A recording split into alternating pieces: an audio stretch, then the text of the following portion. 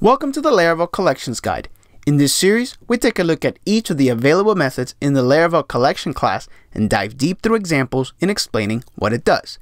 Today, we're going to be taking a look at a utility method inside the collection class, and that is isEmpty and isNotEmpty.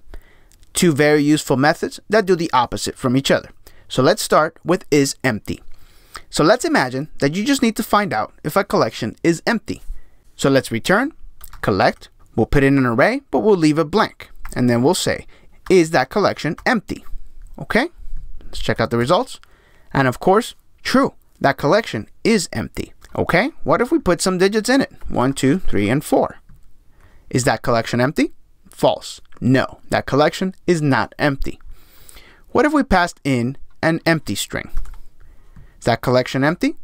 No, because that has an empty string, so it has one value in it. Okay, what about null? What if we passed in null? Is that collection empty? No.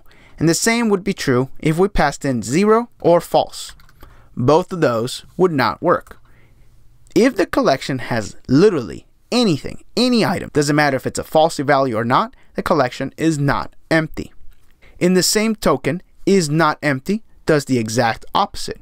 So let's just say we'll leave that blank and we'll call is not empty and let's check out the results.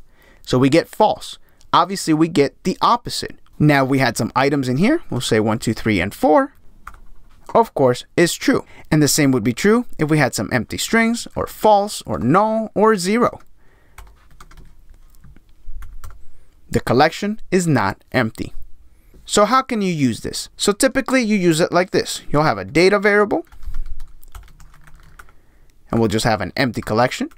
So you say if that collection is empty, we'll just say return no items. And let's check out the results.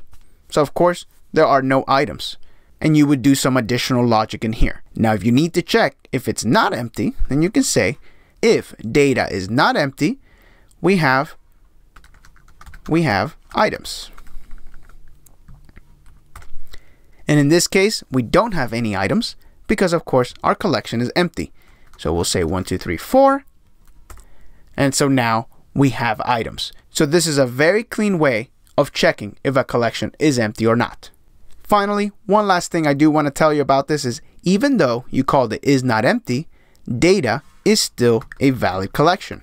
It has not done anything to it. As a matter of fact, we've returned data after we've called is not empty and you get back your original data. So here you can continue to chain other things to it. Let's call the first item, and there we are, first.